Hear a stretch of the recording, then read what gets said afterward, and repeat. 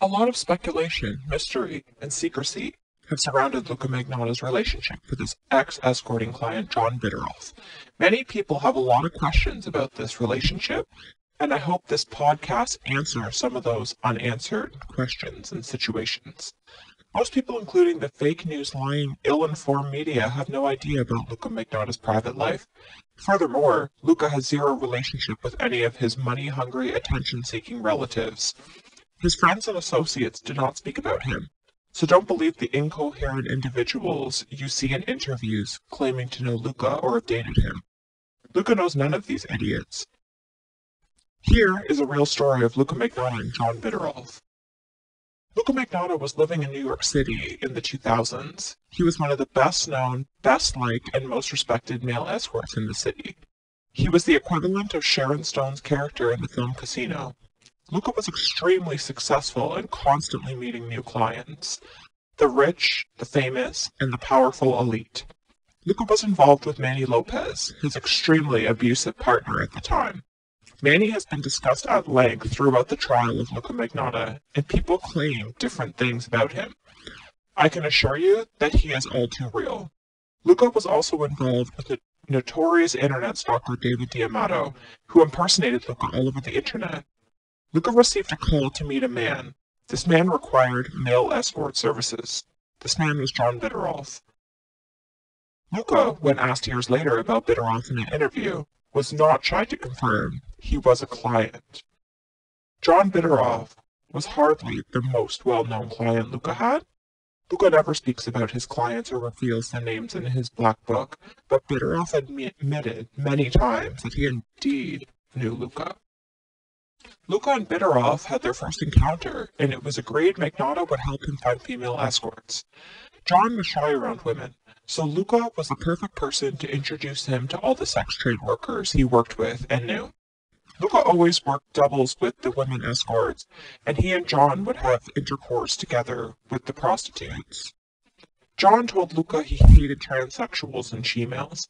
Magnotta echoed the sentiment and brought Bittrolff all types of women, before meeting Luka, Bittrolff found women on Craigslist. Luka used Craigslist a lot. However, that website became very shady, and Luka shifted more towards professional websites. John Bittrolff became very needy and wanted to monopolize Luka's services and time. He demanded Luka get more and more women for him.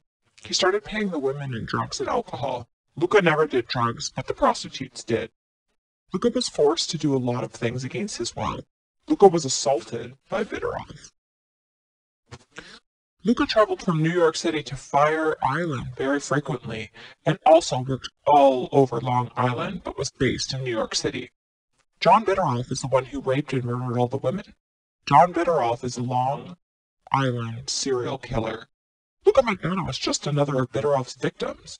John brutally beat Luka when Luka refused to help him find prostitutes and fellow escorts.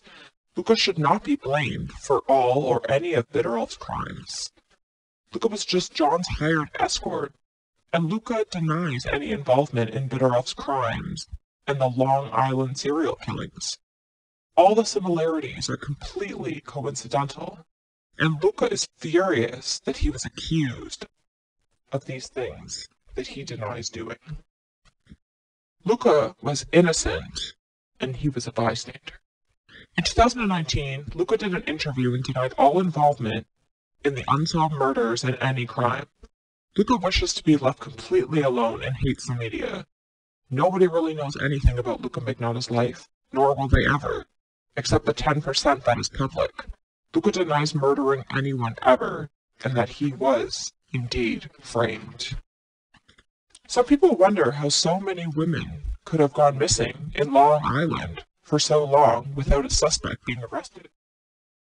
John Bittrolff was obviously not the only individual murdering people on Long Island. Many people have speculated who the real killer or killers were. The chief of police, a doctor, a carpenter, nobody really knows. Lucas said he heard John was furious when he picked up a female prostitute, quickly realized it was a transsexual and killed him. Also, Luka heard John had companies involved in sex torture rings. People would be completely shocked if they knew what really happened that night in the homes of the wealthy on Long Island. David D'Amato and Manny Lopez were both witnesses to all of this. Luka was too busy earning a fortune and didn't have time for any of the drama. In fact, at that time, Luka was dating a very well known hockey player in New York City. The man was his escort client. I hope this podcast has answered some of the many unanswered questions surrounding this case.